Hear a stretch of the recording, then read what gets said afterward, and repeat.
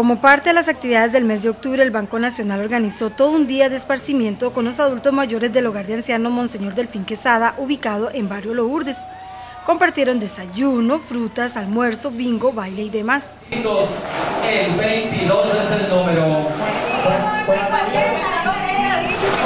Los adultos mayores estaban felices. Está muy bonito, especial está. El malo ¿Qué es lo que más le gusta? Sí, claro, está muy bonito y se puede saludar.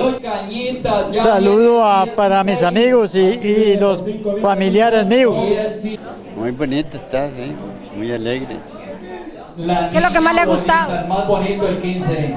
Lo que más me ha gustado es, es la fruta que dieron antes. Por 5 mil. ¿El bingo qué? ¿Le gusta también? Vengo, yo vengo por pasar el rato, pero nada, está uno. ¿Y está contento? 23. Sí, 23. Que sigan haciendo la fiesta. ¿ah? Que sigan haciendo la fiesta. Sí, sí. ¿Cómo la ve la fiesta hoy? Bien, 68 es el número y el. bonita, bonita.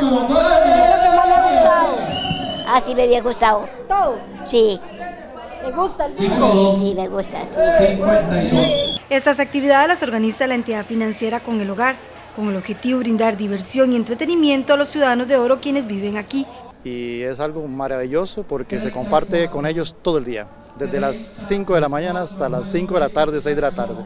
Es algo muy bonito para ellos y lo están esperando todos los años en esta misma fecha. Bueno, ¿y qué incluye esa celebración? Bueno, incluimos desde el desayuno, una misa a las 8 de la mañana, unas frutas a las 9, después sigue el bingo, que se- por dos horas se mantienen ellos muy activos, Y lo más gustado, ¿verdad? lo más gustado, después sigue el almuerzo con ellos, compartir de esos, y en la tarde la pachanga, fiesta con un grupo que tenemos ahí y un gran carnaval.